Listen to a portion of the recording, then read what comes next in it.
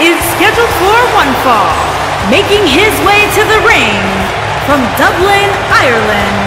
If you can achieve it in WWE, Sheamus has 267 done it. pounds, The Celtic Byron, Warrior, you should get a haircut like that. Sheamus. Why, so I look stupid? I'm going to tell Sheamus you said that. No, no, please don't. Right after this no, match. it was a slip of the tongue.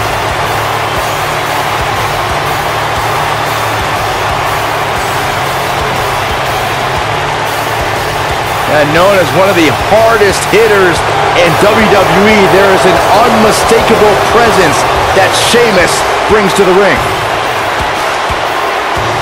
We'll ever forget the night he won the World Heavyweight title at WrestleMania when he defeated Daniel Bryan in a near record 18 seconds.